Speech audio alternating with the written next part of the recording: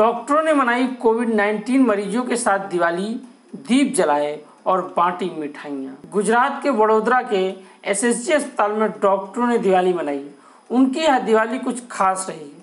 डॉक्टरों ने यह दिवाली कोविड 19 मरीजों के साथ मनाई।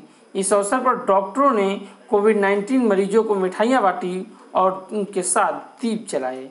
आपको बता दें, गुजरात में इस समय कोरोना वायरस के बारह सक्रिय मामले हैं। Bureau report, TV one India. Latest update और खबरों के लिए टीवी वन इंडिया को सब्सक्राइब करें और नोटिफिकेशन पाने के लिए बेल आइकॉन को दबाना मत भूलें।